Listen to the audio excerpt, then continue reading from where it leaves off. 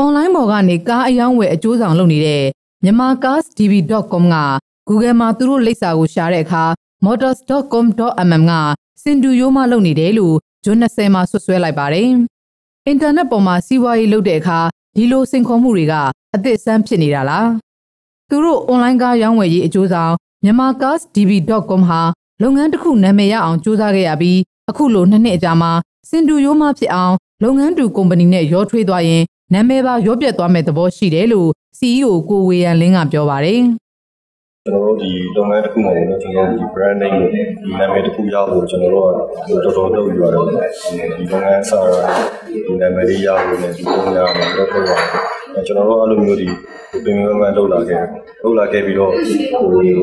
အဲ့လိုမျိုးဖြစ်နေတဲ့အချိန်မှာကျွန်တော်တို့ဒီနာမည်နဲ့ဒီပုံပြီးတော့ CD မှာဖြစ်ပြီးတော့ဒီကျွန်တော်တို့သုံးတဲ့လူတွေအတွက်လည်းပဲ ခြားလုပ်ငန်းနဲ့ကြောထွေးသွားတဲ့အခါကျတော့ကျွန်တော်တို့ branding အနေနဲ့လည်းကျွန်တော်တို့ထိခိုက်ပါတယ်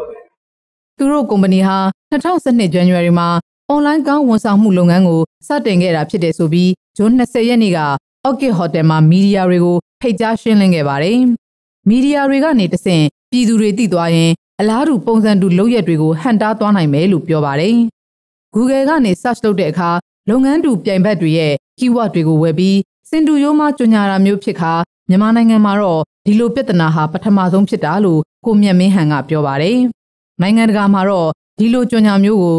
IT လောကသမားတွေကကျင့်ဝတ်နဲ့မညီဘူးလို့သတ်မှတ်တယ်လို့ဆိုပါတယ်။တခြားလုပ်ငန်းတူလုပ်ငန်းတူပြိုင်ဘက်တွေ keyword တွေကိုဝယ်ပြီးတော့ကျွန်တော်အစင်မျိုးမှကြုံရတဲ့ကိစ္စမျိုးပါ။အဲ့တော့ဒီကိစ္စမျိုးကဒီမြန်မာနိုင်ငံမှာတော့ဒီဟာပထမဆုံးပေါ့နော်ဒါပေမဲ့တခြားနိုင်ငံတွေမှာဒီလိုတောက်လျှောက်ရှိခဲ့ပါတယ် ဒီဟာနဲ့ဟိုဟိုမြန်မာနိုင်ငံဟို IT လောကမှာခုန IT လောကပညာရှင်တွေပြောသွားတဲ့လူတွေအကုန်လုံးကဟိုဟိုတော့ရှုပ်ချကြတယ်ပေါ့နော်ဒီလိုအခြေအနေမျိုးရှိပါတယ်အဲ့လိုပဲမြန်မာနိုင်ငံတစ်ခုတည်းကိုလည်းမဟုတ်ပါဘူးတော့တကမ္ဘာလုံးမှာရှိတဲ့ IT လောကတွေကျွန်တော်လောကသားတော်တော်များများလည်းဒီဟာကိုဒီဟာဒီဟိုဘောလုံးကျင့်ဝတ်တဲ့ညီရတဲ့ဟိုလုပ်ငန်းစဉ်မဟုတ်ဘူးလို့ဒီလိုသတ်မှတ်ကြပါတယ်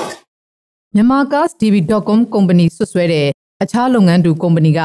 Rocket Internet ကုမ္ပဏီဖြစ်ပြီး ဂျာမနီကလာမူဒီနဲ့ပူးပေါင်းပြီးမြန်မာနိုင်ငံမှာအိမ်ချမ်းမြေအတွက် house.com.mm